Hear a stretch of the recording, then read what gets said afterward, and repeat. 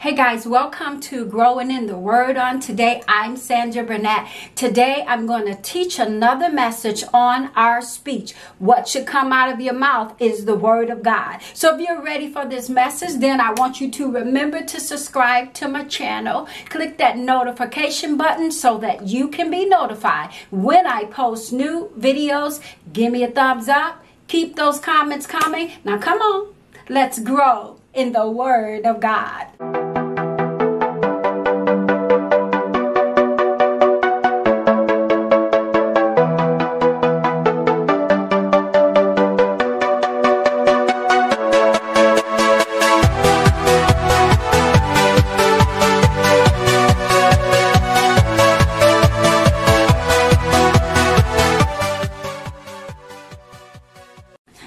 I'm going to talk about gracious speech, godly discipline of the tongue. Proverbs 18 and 21 says this Death and life are in the power of the tongue, and those who love it will eat its fruit.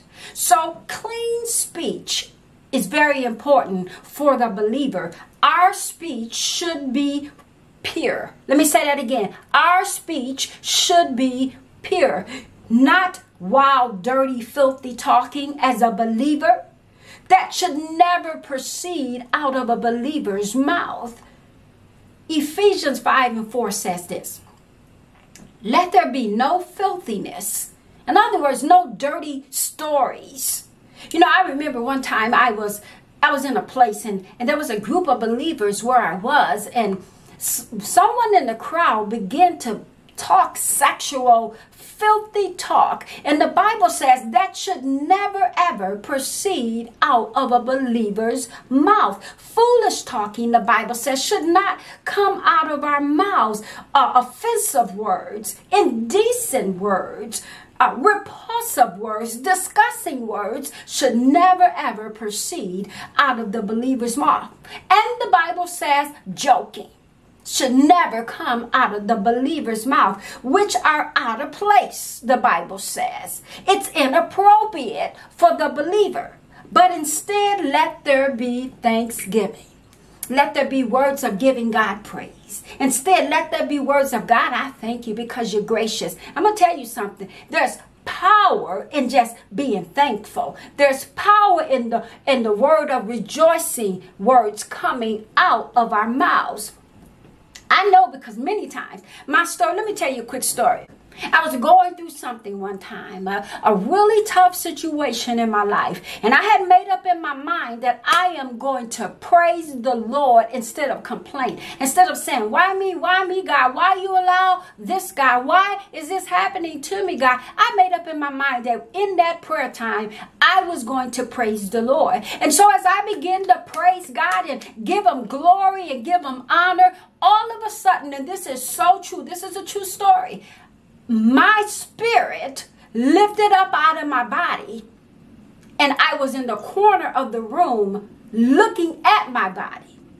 My body was in a position of prayer, but I was in the corner of a room, the real me, looking at the body.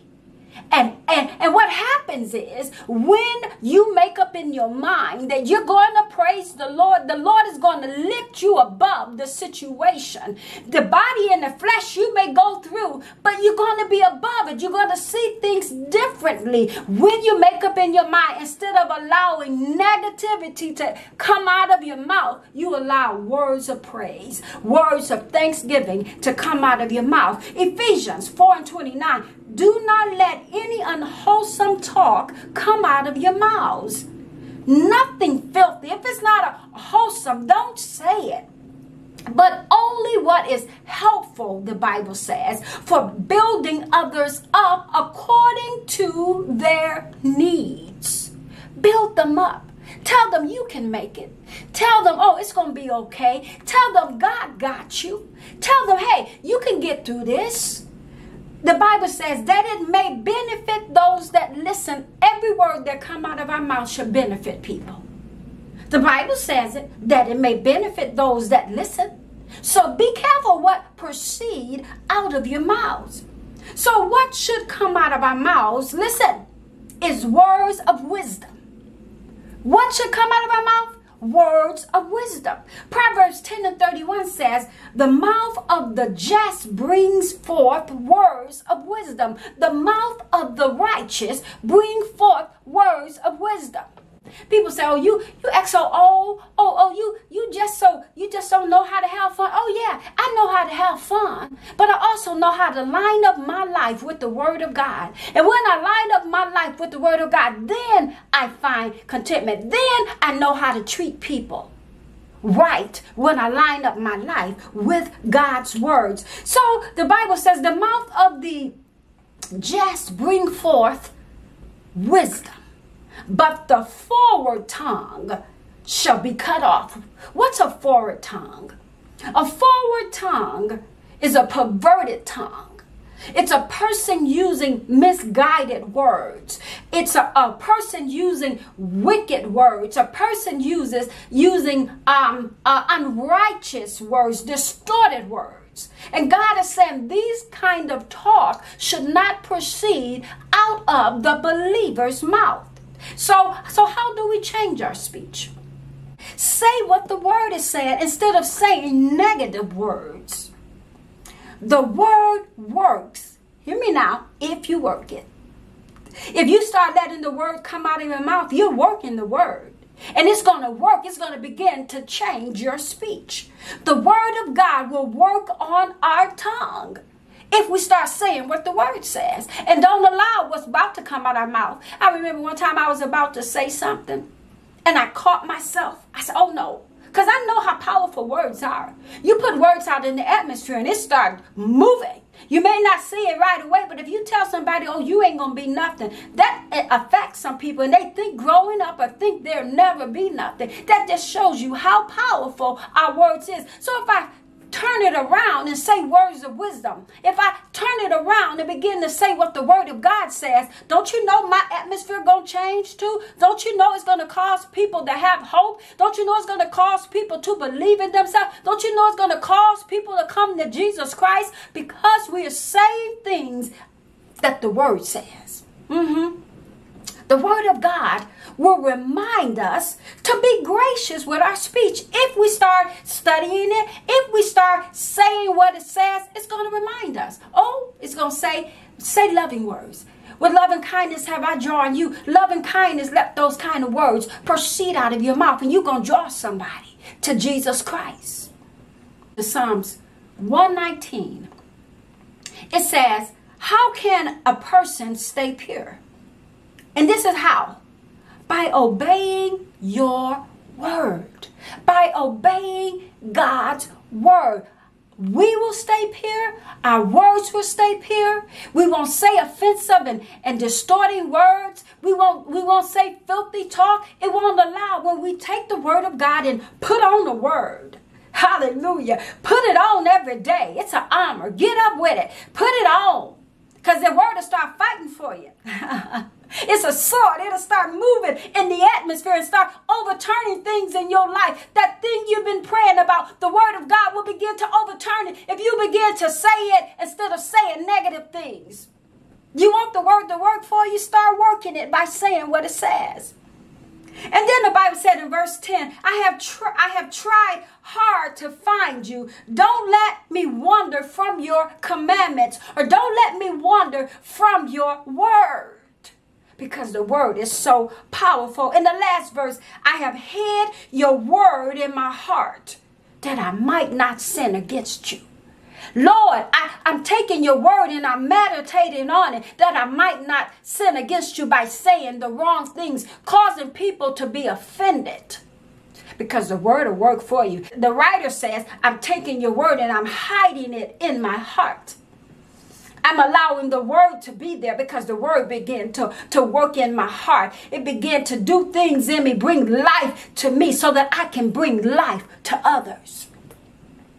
So, Colossians, I'm closing, 3 and 16 says this Let the word of God, let it dwell in you richly.